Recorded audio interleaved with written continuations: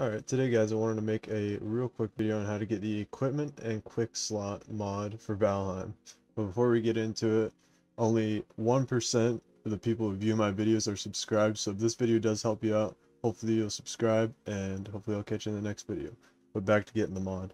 Now what you're going to want to do is first get the Beepin EX pack.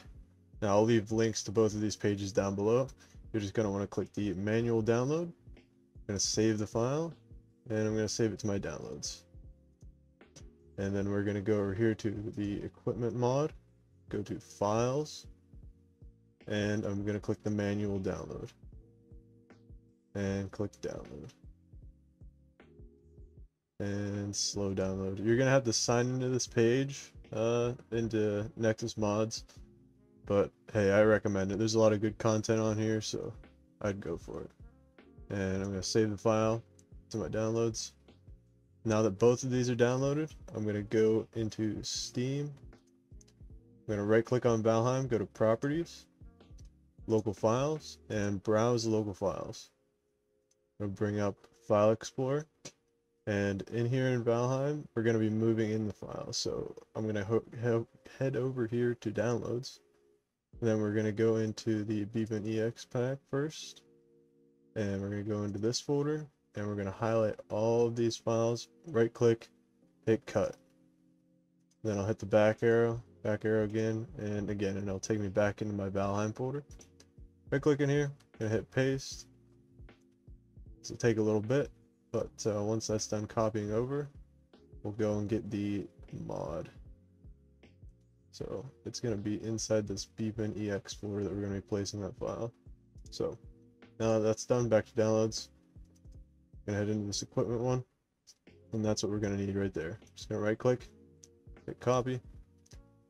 Gonna head back in here. And BepInEx plugins. And then I'm gonna paste it in here. Now that that's in there, we can close out of this and launch Valheim. And once this gets started up, we'll take a look at it and you'll be free to go. but this really shouldn't take too long. Hopefully that is. We'll see then. I'll load into my test world and we'll take a gander at it. Alright, now let's start up. I'm hit start. I'm gonna use my test character and I'm gonna use my test world.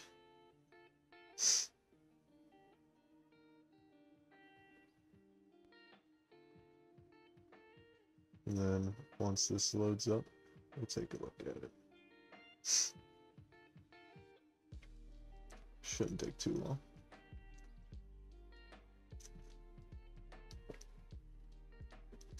Usually once the screen comes up, it's almost done, so. And there we go.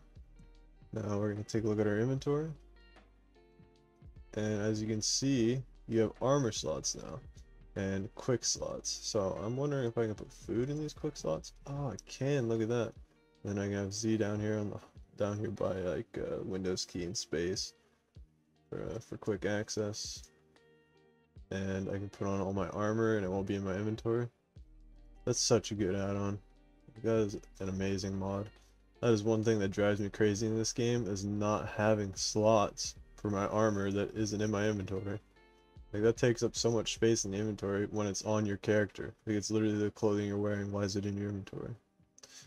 Well, hopefully this video helped you out. And if it did, uh, liking and subscribing would be much appreciated. And hopefully I'll catch you in the next video. Bye-bye.